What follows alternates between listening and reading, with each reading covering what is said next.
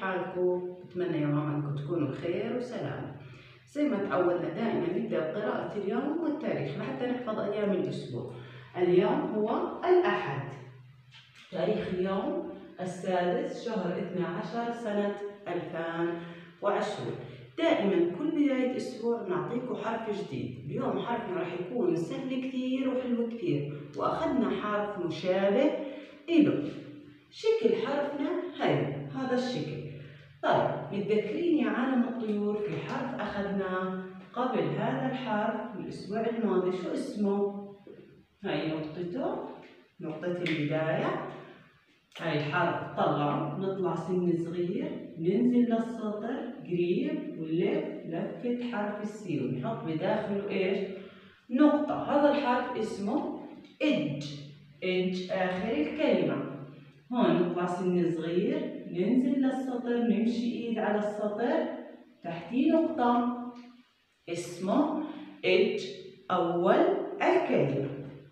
طيب كان يا مكان في حمامة. إيش في؟ حمامة؟ رأت هاي الحمامة حرف الإج وكانت الحمامة تبحث عن طعام لصغارها فوجدت حرف الإج فجاءت وأخذت نقطته ها أخذت النقطة وبدها طعمية لأولادها هاي أخذتهم لأولادها. فأصبح هذا الحرف بردان. لما تكونوا بردانين شو بتعملوا؟ إح هيك صار؟ إح إح. فهو بردان هذا الحرف. فأصبح حرف جديد يسمى حرف الإح بردان لأنه ما عنده نقطة. هذا الحرف بردان بدون نقطة. هاي شكله زي حرف الإج ولكن نقطته وين؟ أخذتها الحمامة فأصبح إيش؟ حرف جديد يسمى حرف الإح إح إح بردان. بحث حرف الإح فوجد حديقة حيوانات. حديقة حديقة فيها حرف الإح حديقة فيها حرف الإح وجد حديقة حيوانات بداخلها حصان. حصان. إح حصان. حمامة. كمان شو في بداخل هاي الحديقة. حمامة. حمامة. وبداخلها نحلة. نحلة. إذا كمان فيها نحلة. ويسبح في الماء حوت حوت وتمساح إح إح إح. هذا التمساح جالس على الضفة ويأكل لحم لحم لحم. أما النحلة فواقفة على حبة تفاح. إح إح. إذا هاي قصة حلوة عن حرف الإح. هاي بيشبه حرف الإج ولكن لا يوجد عنده نقطة. أين النقطة؟ أخذتها الحمامة فأصبح هذا الحرف حرف الإح. إح إح. زي البردان بدون نقطة. زي ما تعودنا دائما بحكي لكم إنه نلون حرف الإح. كيف نلونه يا عالم الطيور؟ زي ما بنكتب نمشي هاي نطلع سن نمشي ونلف لفة. كبيرة. لونوه باللون الألوان تعجبكم أنا هون لونته باللون الأخضر. وهون إح أول الكلمة. لوناه باللون الأزرق. هاي نطلع سن نمشي للسطر ونمشي إيد على السطر. زي ما بنكتب الحرف من لونه. الطريقة اللي نكتب فيها الحرف من لونه. اعملوا بداخله أي شكل أنتوا بتحبوه تفاح حمامة نقاط أي شكل أنتوا حابينه حابين تلونوه اعملوا بداخله. خلي ألوانكم حلوة وجميلة وأحلى عالم هو عالم الطيور. إذا زي ما تعودنا إنه ألواننا جميلة جدا ألوان عالم الطيور أحلى ألوان. طيب. نأخذ مفردات قرأناها كلمات تحتوي على حرف الإح زي ما حكيت لكم. بداخل الماء شو شفنا صورة إيش حوت حوت إح حوت أضع دائرة حول حرف الإح يلا نحط دائرة هاي إح أول الكلمة إيش هاي صورة إيش يعني الطيور نحلة نحلة بداخلها حرف الإح حط عليها دائرة. إح نحلة. إح حوت. طيب مين اللي سرق نقطتها؟ مين هو؟ حمامة. حمامة. إح حمامة. فيها إح أول الكلمة. إح حصان. حصان. شاهدنا بحديقة الحيوانات حصان في حرف الإح أول الكلمة إذا بالحديقة فيها حصان. إح حصان. تفاح فيها إح إيش؟ آخر الكلمة. إح آخر الكلمة. طيب إحنا عالم الطيور بنكتب على إيش؟ على لوح. طلعوا الإح لوح. إح آخر الكلمة أضع دائرة حولها. تمساح كان واقف على الضفة حكينا.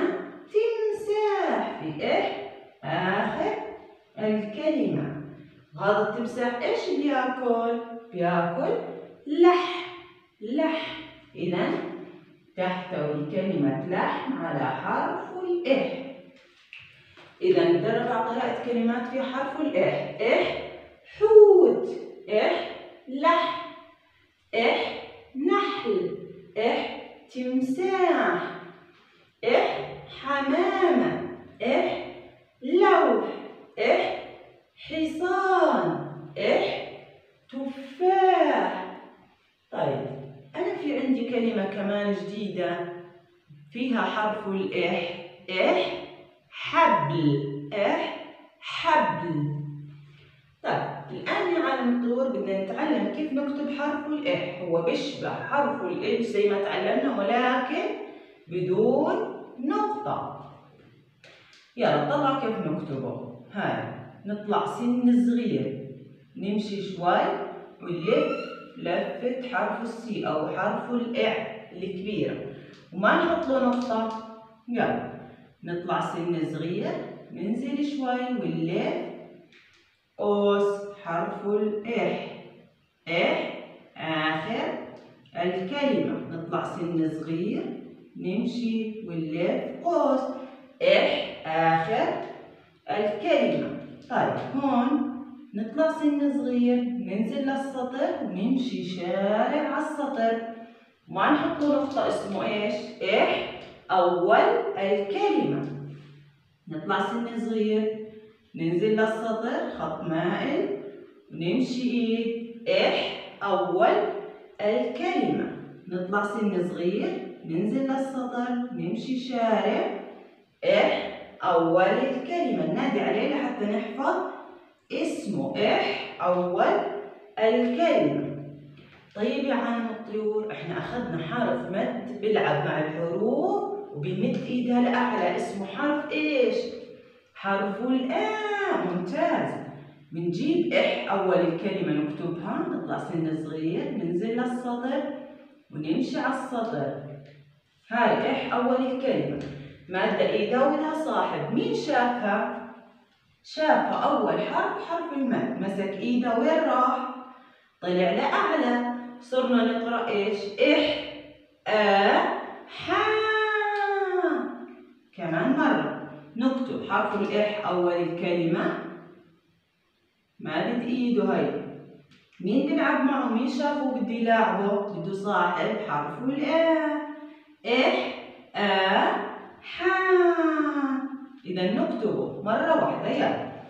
نطلع سن صغير ننزل للسطر نمشي شارع على السطر ونطلع إيدها لأعلى. إذا صار عندنا صاحب بيلعب معها هو. إيش؟ حرف الآن. إح آن حا شفنا كيف؟